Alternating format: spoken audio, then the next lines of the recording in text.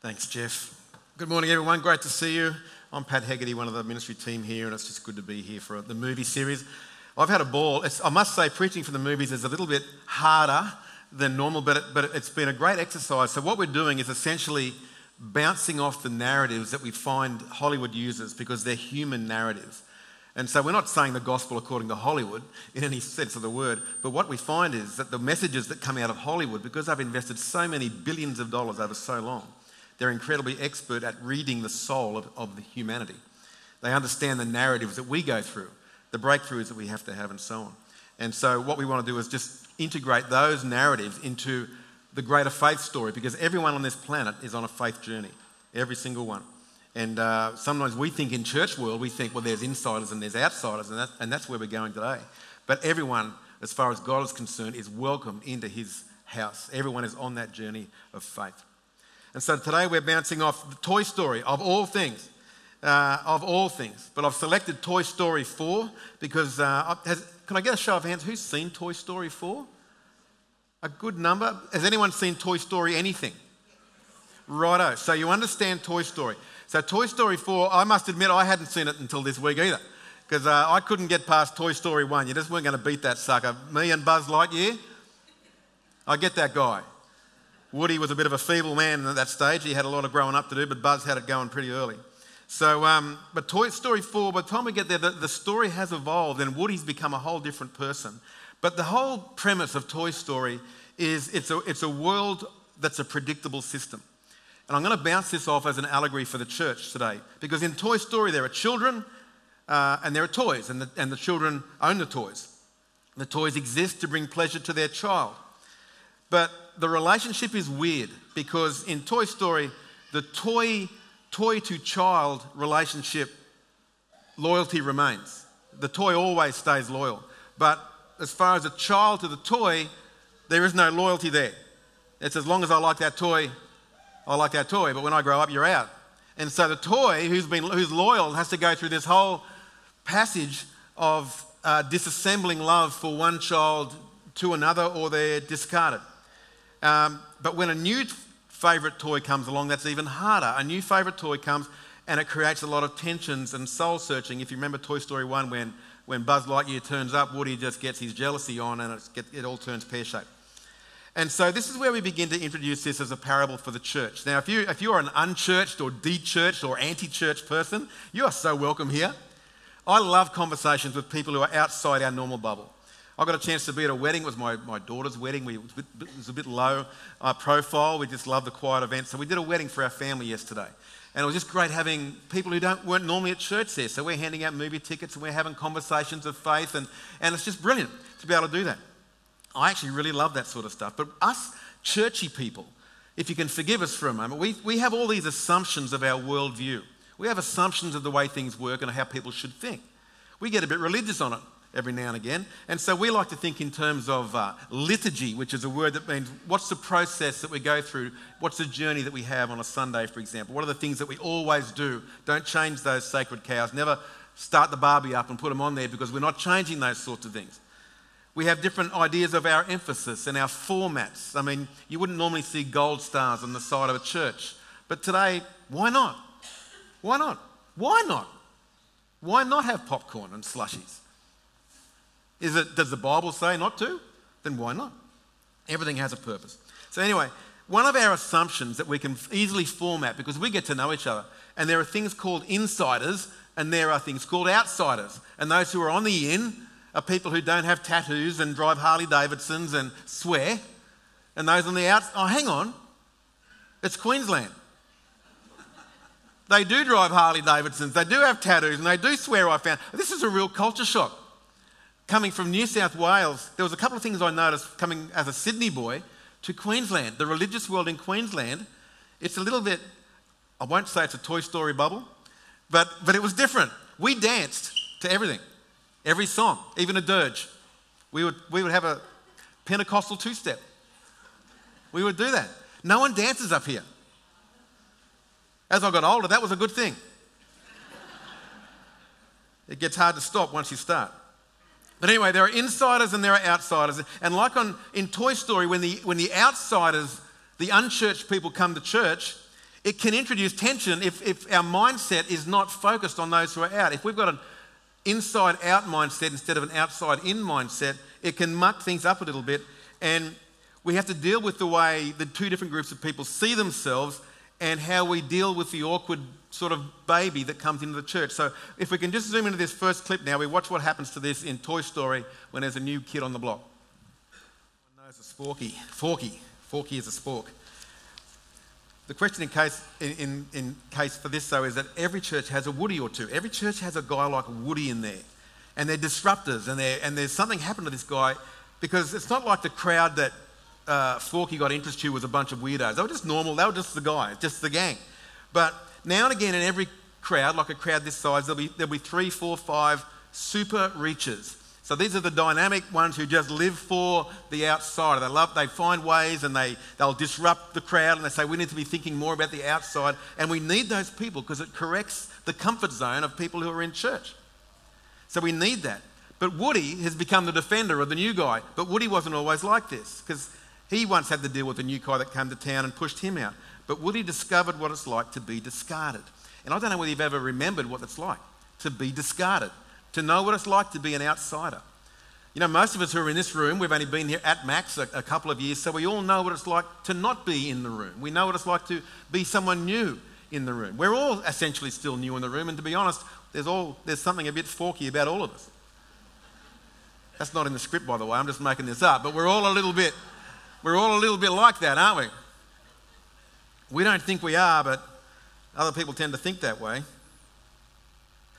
But the point here is there's a disproportionate amount of energy needs to be invested into bringing the lost in. It goes against what's natural. We need the super reachers. We need those to provoke us and stir us and remind us that the reason we're here is not just for us. We are here for us, but we're here for the world. And our mission is to those who aren't in the room. And who's ever going to advocate for those who aren't in the room? If the only voices that get heard are our voices, of course, we're going to meet our own needs, aren't we? That's just human nature. But Luke 15, 4 says, Suppose one of you has a hundred sheep and loses one of them. Doesn't he leave the 99 in the open country and go after the lost sheep until he finds it? And when he finds it, he joyfully puts it on his shoulders and goes home. Then he calls his friends and neighbours together and says, Rejoice with me, I've found my lost sheep. And isn't it like that? Just as heaven rejoices every time. And every week now, we're having people make uh, a declaration of faith in Christ in the church. And every time we rejoice, because the, the angels in heaven are rejoicing, and we rejoice too. It reminds us why we're here and what we're doing. But the church is a home for, place, uh, for people like Forky, and we're all that Forky person. John Ortberg wrote a book once, if you've ever read his stuff, it's called Everyone's Normal Till You Get to Know Them. You've obviously not read that book. Um, his point is that he says, Who's normal? He says, You're certainly not normal, talking to the, the reader, and neither is anyone who knows you. It's just that we all think that we are because we're based on our own centre of gravity and we all see everyone else through our own thing. The bottom line is, everyone else is actually, can I give just break the ice of this. Everyone probably thinks you're a little bit weird, except you. Some it's easier to identify than others. But most people think most people are weird except themselves. And so, this is why we have to prioritize in the church world this priority of identity and in, in, discipleship. help people understand I'm not, I'm a toy, I'm not trash. I'm not, tra- I'm, I'm not. I'm a son, I'm a daughter of God. I'm made in His image. I have a reason for existing. There are people who are my people. I'm not trash. And sometimes it's a lifetime that we have to spend to convince and understand and know through the ministry of God's Spirit that I am not trash. You are not trash. Because that's all the world will want to tell you. You're just put together by bits of dust. Somehow the cosmos just materialized a thoughtful, intelligent, thinking being like you. That's got to be the biggest miracle I can think of. But we, we buy into that and we think, well, I'm just dust. I'm made of the same stuff that the sun's made of. Who am I? And that's the starting point. So there's a lot of work to do there. So we've got to turn people from trash to treasure. But then the church people, we get this common question how do we find them? How do we get more forkies in the room, as if there's not enough already. Because we're worried about their eternity. We're worried that they're playing fork out there and they're living in those sort of worlds, but they don't know what we know. They don't have Jesus in their, in their heart. They haven't found that redemption that comes from placing our faith in Christ to pay for our sins. They don't know that. So we want to know. And so the church now, for almost 30 years, has been, if you read the same books that I do, engulfed in a polarizing debate about how do we get more Forkies? How do we save Forky? Do we invite them to something like this? Or do we go out and find them? In, invitational is called an attractional model, and do, do, we go out? It's called an incarnational model. So we've got the first thing we do is we find really long words for these things. But we, we're talking about strategy, as if we've got to pick one at the expense of the other. But why not invite people to something like this? And why not go out? Why would we ever think we've got to choose one of those things? And so this church is invitational. This church is incarnational. We do it every Monday. That's why we pray for God at work, because we're all going to be out tomorrow in the community reaching these people. But much of the argument is centered around how we convince them. It's a strategy sort of argument. And we look for this proverbial key. What's the key to our community? And this is a great conversation because if I was in Malaysia, for example, the key to the community is always food. It's food. You want to attract people to something, just put food on. They'll just come. It's the same in Australia. But for young people, it might be music, it might be lights and, and vape and all the things that we do here on a Sunday night. Whatever it is, what's the key? What, what provides a platform? Because if we're over here in all the understanding that we have of the gospel and God, but they're over here with none of that, how do we build a bridge? We've got to start from where they are at. We've got to find common ground, things that they understand, environments that they understand. So it's not a conflict to come with all the crowd and come and say hi. It's easy to take those first steps. But in Toy Story, it's a really funny thing because it gets weird, just like it does for us. Christians are weird people. We do very odd things. And so, in looking for this key, we'll do strange things that normal people wouldn't do. Like we'll knock on doors and say, Hi, I'm from the church. Want to come? No. Not if I've got to be like you. I don't want to come. Or we'll get up on a soapbox in the street with a big bullhorn and start telling people they're going to hell in a handbasket. What a great plan. That's really going to get build a bridge of conversation, isn't it? I'm good, you're bad, you've got to work a lot harder. You've got to be like me.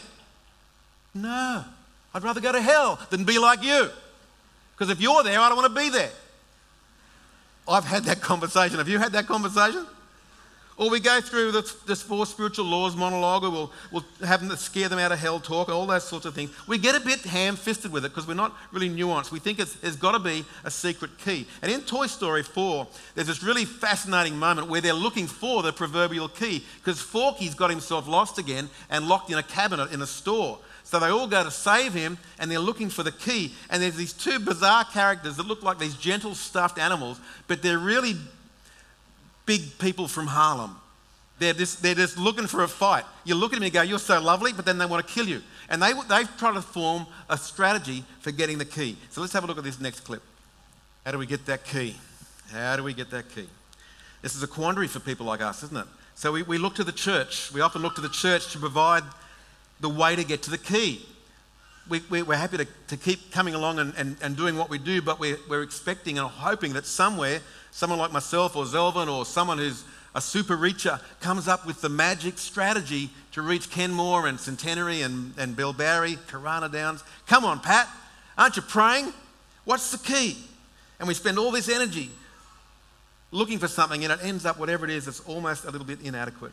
But look at what Paul says in 1 Corinthians 9 about this, this key thing. He says, To the weak I became weak, to win the weak.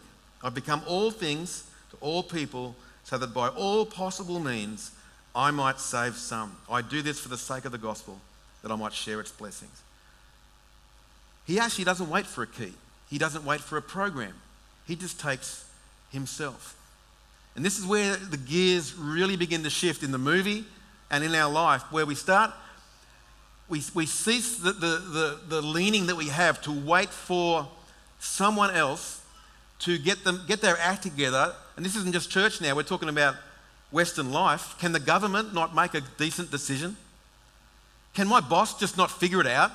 Can someone not just get their act together and, and make the life the way I expect it to be? And Paul says, I'm not talking about any of that. I'm saying, to the weak, I become weak. He takes it back to a granular level. Because if the West has done anything to us over the last hundred years, it's replaced relationships with resources.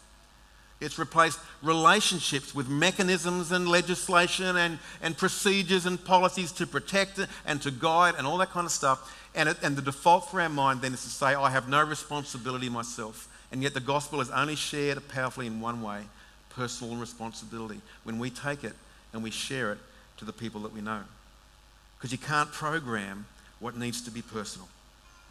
We can do all the stuff and we will do it. We'll put on movie series, we'll have the lights, we'll have the movies, we'll do alpha, we, but they don't replace relationship. All those things are is a path for people who are invited or when we've gone out and we've connected with them and we say, I'm going to walk with you on the path.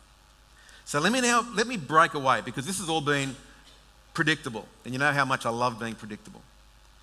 So let's just park that for a moment because you've probably heard all of this before. And just parenthetically, I want to take us on a journey because now it's going to get really, really personal about church people like us, church people like me. Because we can develop this thing, a thing about our life, and it becomes our own justifiable mission. It becomes the thing I'll stamp my feet about and bang the desk about. It's, it's Woody chasing after Forky at whatever the cost. And it may not be religious, it might be your career, it might be your family, it might be your mission, it might be your ministry, whatever it is. But in church world, we, we start the conversation with the what's at stake conversation. And so we might, for us, it might be religious instruction. Man, we're dying on that hill. It's not a bad hill to die on. End times, that becomes our thing. Why don't we talk about end times here more? I talk about it all the time. Why don't you talk about it? So it becomes our thing. And it's justifiable. It's a good question. Why don't we talk about it more? Maybe it's social justice. Maybe it's uh, work that the church does, whatever it is. Sometimes it's less obviously worthy things. My career really, really matters to me. Why? Because I've invested my whole life into my career. And so this thing, this becomes a thing for us, a justifiable mission. It's a, the thing that we can justify focusing our time and our passion and our money and our whatever it is on it. But even a justifiable mission becomes unjustifiable at some point back to church. Even our justifiable missions can get off track. We think we're heading north, but we just skewed off a little bit because it becomes about something else. But because it's justifiable, no one dares to confront the unconfrontable in each of us. And that Toy Story 4 is actually about this. It's not about Forky, it's about Woody. And the story just shifts gears suddenly as we begin to understand why is this guy so driven to chase this fork? And no one dare argue about it because that's a worthy cause. But he's surrounded by many other toys. There's many other things going on. Why is he so obsessed about this one thing?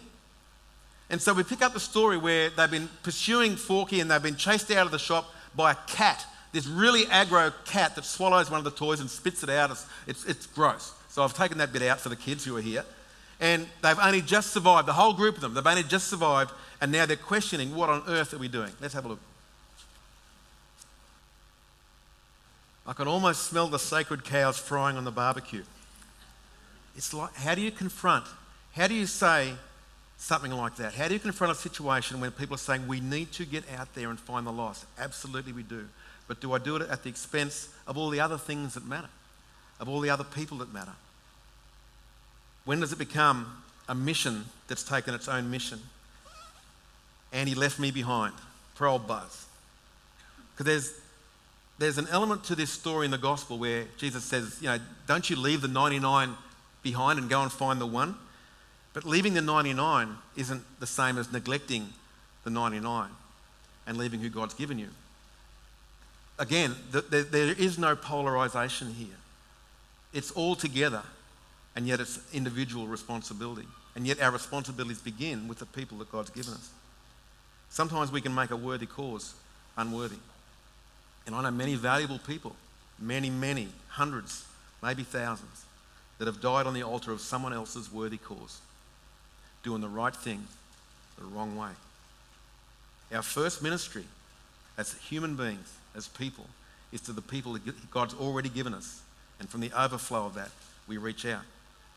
Then Woody says, I don't have anything else.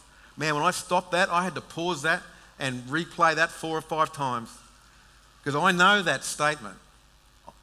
I know that statement where someone challenged me on what I was doing, and it was nearly 20 years ago now, when it stopped me in my tracks. And all I could say is, This is all I have. I don't have anything else. God's called me to do this. And I looked at, at the ground zero that I'd left behind of being over obsessed and doing in my strength, trying to accomplish alone what was God's to fulfill and making it my own responsibility. And so Woody had masked his turmoil with a worthy, worthy cause. He couldn't let go of a worthy past and find a new worthy future. And this is, this is some of the hardest things for us to grapple with is when do I start saying no and so I can move into my next new beginning? Because good can't begin until bad ends. Now this is now, now we're way beyond church. Now we're, now we're your life story. Good can't begin until your bad ends. At some point we have to know who and what and where I need to let go of. And I won't know what good is until I do that. It's relationships, it's jobs, it's churches. I say I had to discover this with church. Trish and I, we've always been faithful local church people. We'll be to the day I die. But uh, maybe like some of you, I had my, un- my uh, between churches season. Well, I was just so sick of it. the pastor saying that. I was so weary of the politics and playing church. So weary of all the stuff that happens because people get broken doing a good thing. We sometimes get broken. And I bet every single one of us here who's been in church more than five years knows what it's like to be hurt in church. Okay? We know that pain. And sometimes it just gets too much because this doesn't work for everyone all the time. I estimate about 50% of the God loving and God fearing Christians out there don't come to a normal church service anymore. They can't do it. And I was there for a while. And I, and I dared Trish to convince me to go back to church. Even though I knew the scriptures about gathering together, I said, well, let's find a better way to gather together. So we started a little thing with my mates that I, I never had time for on a weekend because where was I every Sunday? Was church twice a week, leading worship and preaching and doing all the stuff as a volunteer, then out doing all my hours in my career. So I had Sunday afternoons free. So they all said, Oh, now that we've got you, come to the park, Pat, and, and let's kick a ball around with the kids. And, and uh, one day they just, we sat down for lunch and they put a beer in front of me, knowing I wasn't a beer person, and a Bible dug out from the closet. Said, Here you go, Pat, you're the Christian, teach us from the Bible with a beer. So I was like, open the page, came to 1 Corinthians 12, talking about how everyone, different parts of the body, and, and so on and in a, in a room with a dozen people there, none of them are Christian except Trish and I, started talking about how people need people. How people need people. And they said, We need you. We need you to explain to us what this means because we don't understand. We're not over here where you are, we're way back here. And we need a bridge. And the bridge was beer and football. And that 12 people became a home group because they all got saved because someone stuck with them on Sunday afternoon and, and taught them through. And they end up saying things like, What must we do to become a Christian? It's like in the Bible. I had to get out of the system. I loved the system until I didn't love it anymore. But like Woody, I didn't know where to go anymore because I'd said, This is all I have. And I couldn't discover the real depth of what that was supposed to be until I disengaged from the system because the system for me had replaced the mission, which was people. And I had to get out of it. In the end, that, that group of 12 people, we had to introduce them to church world because we thought they needed better than us. So we, that, that was our reason for engaging back in, in church world. And so toys had to learn this too, and it comes back in the story. This whole, this was a very difficult, you know, you, this, you talk about a kid's movie. This is grown up themes going on there, and just about every movie you watch will have something like this in there. And there was one more character called Gabby the doll. And Gabby's as messed up as Woody, but in her own way. So she's one of those obsessives who wants to do whatever it takes to get favour with a person because she just wants to be owned. So she's the, she's the one who just wants to manipulate conversations or agendas because I want to be worthwhile. How do I get the door opening for me in life? It's all right for you, Woody, you've always had it, but me, I've never been owned. I've never had a child. And so she steals Woody's backpack so that she can speak and does all these nasty things, and it's horrible. But finally, she comes around and goes, I'm not doing that anymore. And she's given up trying to make the system sort of work for her anymore because it's not happening. And so they do a runner and they finally get Forky out, and they're all just about to join up again and meet with each other. But Gabby's now with them, and everything shifts in a moment. Have a look at what happens. You know, when you're watching that, I wonder who you are in a story. Um, are you Gabby the doll? Are you the other guy sending them out? Or are you the, the, the, lost person just hoping someone comes along and you can say, Are you lost too? We'll take this journey together. Woody's quote there was This is the most noble thing a toy can do. And when it gets down to it, look at what they're saying there, because it's the same as what we're really saying here. The most noble thing that we can do is not run an alpha program or, or have uh, Save the City campaign or, all the things that, that we will do. The most noble thing is one person engages with one person.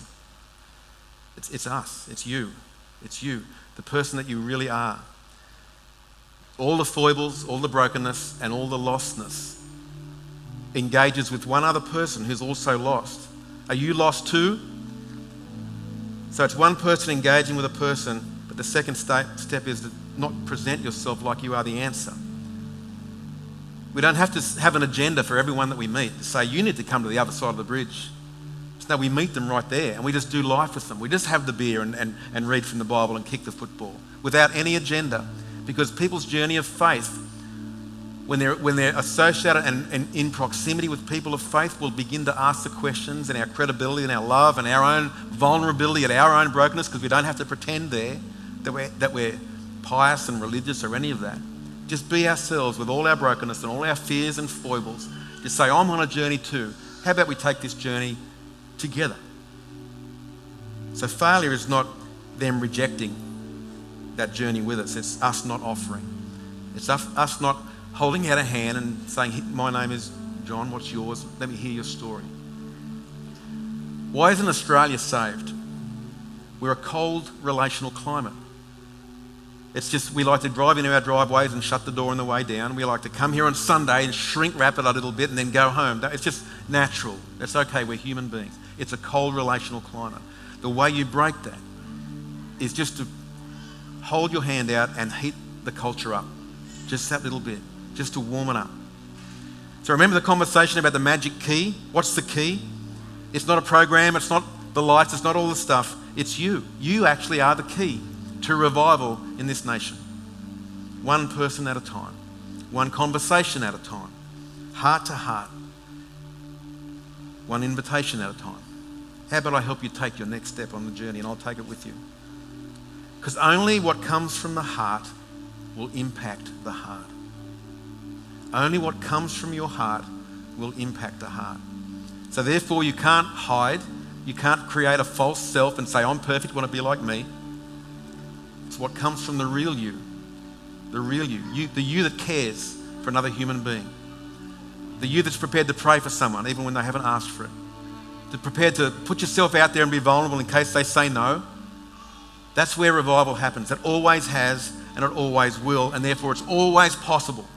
See, Australia has convinced itself it's not possible because we haven't found the key. I was speaking with uh, the senior pastor of the biggest Baptist church in Australia a few weeks ago, and I, and I said, what are, your, what are your contemplations on the church right now? And he, I've never seen a man of such high faith and caliber and experience get so sad and such a, so instantly. He put his head down and he said that Australians have convinced themselves it can't be done. Do you want to partner with us and just say it can be done? Because of course it can be done. All things are possible. But all it takes is one person. It's not about the program, it's about the person. What comes from the heart impacts the heart. The irony was, Woody never went back to his crusade. He never went back to being owned by a child again. He went off with, with Bo, and, and they found a, a life that they'd never been there before with no one owning them. Henry Cloud wrote a book about this. It's called Necessary Endings. There comes a point for all of us in all of our lives, whether it's a church or it's a job, it's a career path, Sometimes it's a relationship.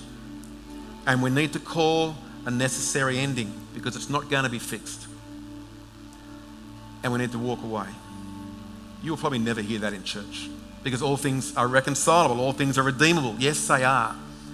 But unless both parties are prepared to do that in a relationship, sometimes we need a necessary ending so we can move on. We need it in our careers, and often we won't find it until we've said, shut the door on one and moved into the next. Sometimes it's a church, whatever it would be.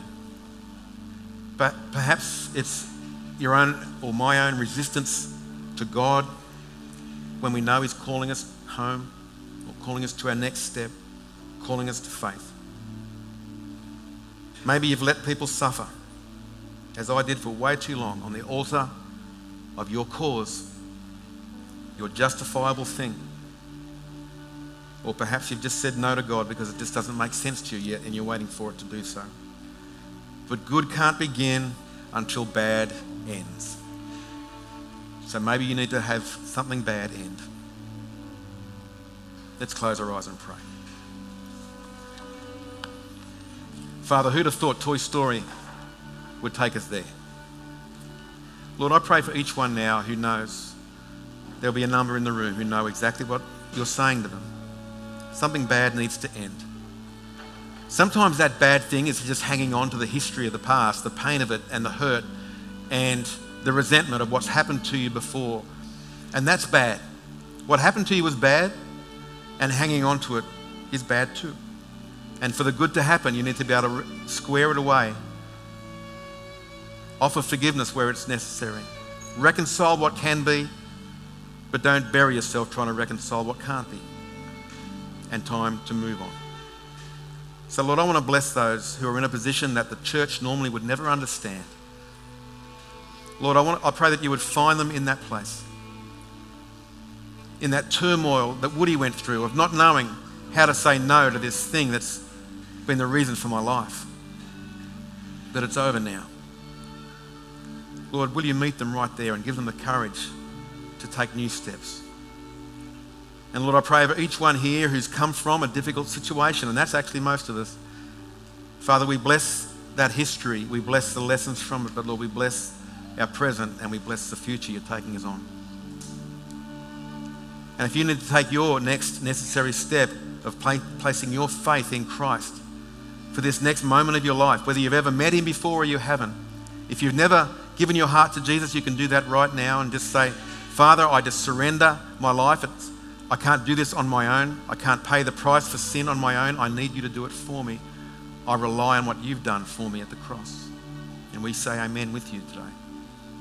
But maybe you've known Christ for years, but now it's just as hard as it's ever been. And you need his help to move on to a new stage of life.